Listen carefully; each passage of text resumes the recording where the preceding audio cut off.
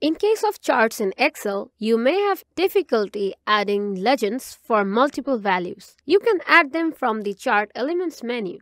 You can also add them without clicking on the menu as well.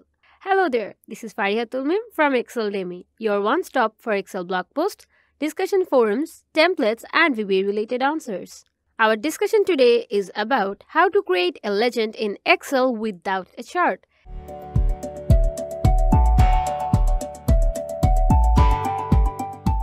A data set of four salesmen are here and their actual monthly sales and projected monthly sales are added here as well. We want to add legends without adding the legend option from the charts element list. Here we have added a chart based on the dataset. As you can see, the legends are below the chart area. It is denoting that the blue line is for actual monthly sales and the red one is for projected. To add a legend without a chart, first we need to add dummy values to our dataset. For dummy values, we need to select the latest values of our dataset. We can either copy them to the next column or we can copy the entire column.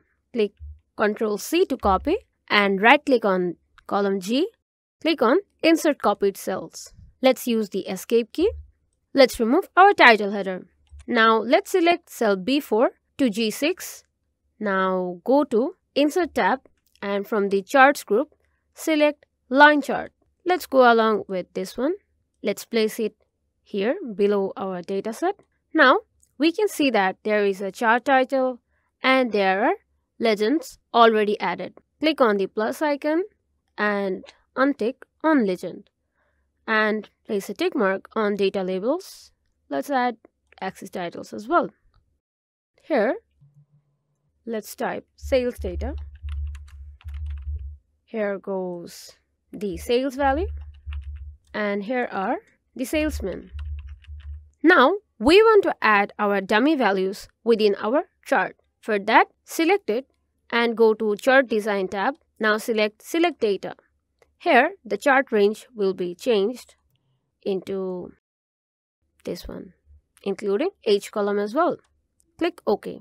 Now we can see a straight line at the end of both these lines. Now you can see from our chart that our salesman names are not here, rather they are denoted with number. You can go to select data option and unselect salesman and here click on edit and select the range as this one.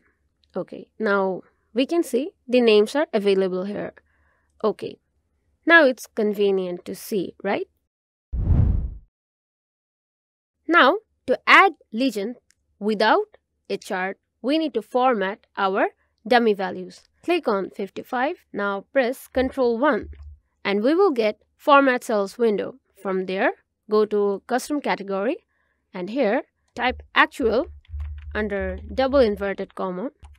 Okay. And repeat the same process for the next one.